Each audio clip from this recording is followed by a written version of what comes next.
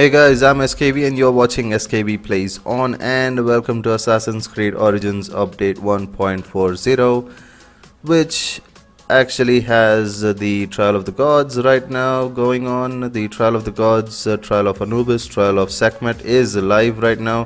It's gonna be there for uh, whole 7 days uh, up until March 13th. Make sure you get uh, finish off the trial of the gods and if anyone's wondering whether you can get all three weapons of the three sets uh, during the trial of the gods maybe because there is this one thing where the trial of the gods which we have right now are two in number which means one of them is at normal one of them is at hard mode. The normal one gives you the first set items of Anubis and then the hard mode gives you the third set items of Anubis.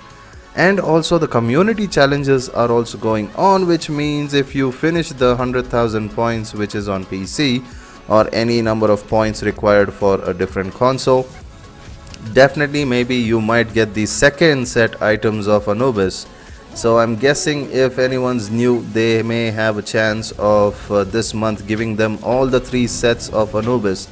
So anyways I would like to talk first mainly about the gameplay right now that I'm doing. I'm using a spear which gives me the health on kill perk the Sekhmet spear. I'm using a Sekhmet spear against the trial of Sekhmet as you can see and the level of enemies is at 48 this trial of the gods is definitely going to be at hard mode which means all the enemies at 48 is mainly because this level is a suggested level of 48 so yeah definitely they're going to be three levels higher than you even if you are at level 45 and the best shields for you to use is the ones which have level 3 or level 4 melee resistance. Make sure you use shields which have really high melee resistance because if you get hit by the enemies they're definitely gonna do some damage and high level melee resistant shields are gonna reduce the damage by a certain percent. Right now the one which i'm using is the guardian lion so definitely does a max max amount of melee resistance which is 50% of the incoming damage is reduced from the minions and also the spear is giving me health back and the health on kill perk rather than the health on hit is good because the health on kill still does 15% healing when you kill an enemy which means you can get more amount of health after you kill an enemy. And yeah make sure you do have that shield at high melee resistance because you don't want to get hit by these minions and lose too much health. But yeah i'm using the spear mainly because of the long range attack. As you can see i'm using the roundabout attack which does multiple enemy hits. That definitely makes sure I take out each enemy fast by the by hitting them all at once rather than going at one enemy at a time and also make sure to use the favorite bows the morning sun and the nekhbet's wing right now i'm using the nekhbet's wing as you can see i just uh, made sure the range hit multiplier on the bow takes out goddess Sekhmet as soon as possible so that I don't have to deal with her fireballs and the laser.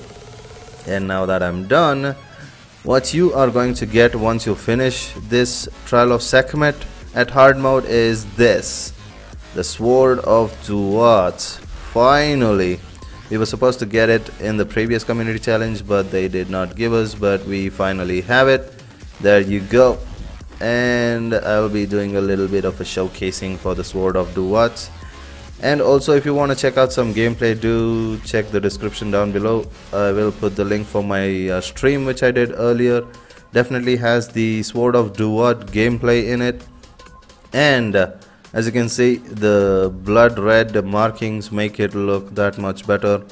And the health on hit and the combo multiplier and also the critical hit rate is pretty amazing for this sword I would have rather uh, liked the health on kill perk but then this sword would have become even more overpowered than it already is.